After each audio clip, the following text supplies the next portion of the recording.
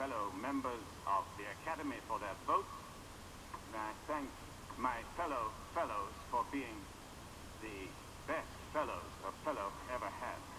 And finally, may I say what a deep happiness it has been to me to have received these awards at the hands of one so dear and precious to me